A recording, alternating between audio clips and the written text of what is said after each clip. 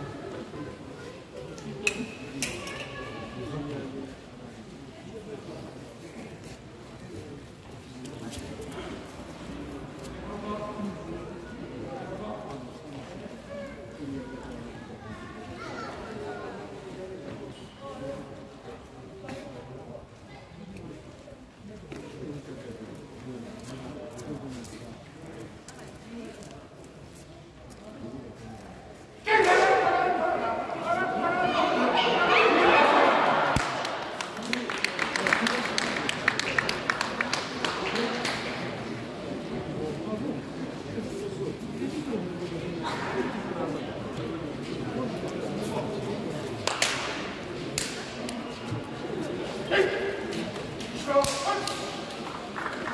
山町上手投げにて西花岡三段の勝ち。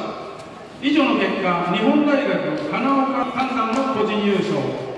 拓殖大学五島正治三段の個人優勝。